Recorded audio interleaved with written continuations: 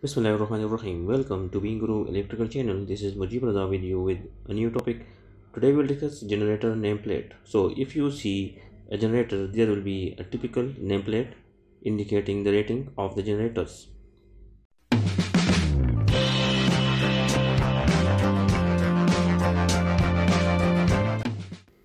Let's start. So we have taken one generator nameplate.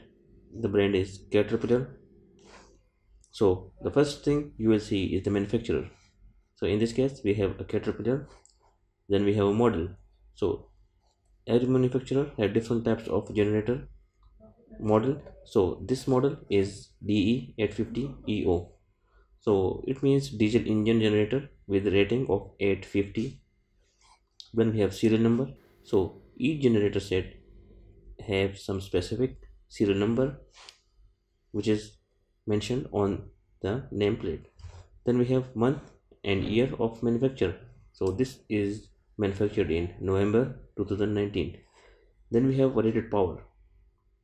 So in power we have two types. One is prime rating and one is standby rating.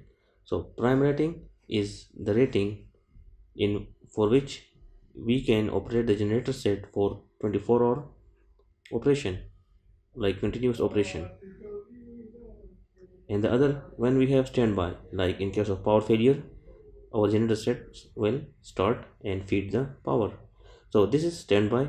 So for the standby it can give us 850 kVA but same generator we can use for 80% rating like 850 generator we can use the same 50 to 780 kVA on prime rating. So if you see the kilowatt at 0.8 power factor generator will give you 680 kilowatt on 0.8 power factor. So this is the power factor 0.8 then we have rated voltage 415 volts three phase and 240 volt single phase. Then we have phases number of phases 3 rated frequency is 50 hertz rated current is 1183 amperes at 415 volt three phase. Then rated revolution per minute 1500 rpm maximum altitude is 100 meters. Maximum ambient temperature. So maximum ambient temperature is the design is 25 degrees. Then we have mass. Mass is 5040 kg or 5040 ton. Then next we have uh, some extra rating. Then we have generator this is the series L7A06789 then we have generator connection. This is star three phases and one neutral. This is uh, ISO standard design on 8528-3 then we have generator enclosure which is IP23 so this is not waterproof and this is generator shall be used for the indoor. This generator cannot be put or operate in the outdoor environment. Then we have insulation class H.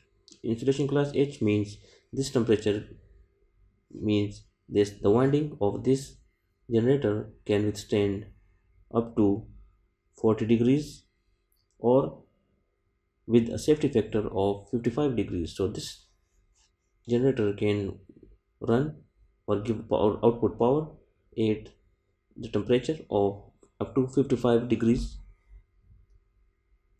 Then we have uh, excitation voltage 78.3 volts and excitation current 4.96 amperes.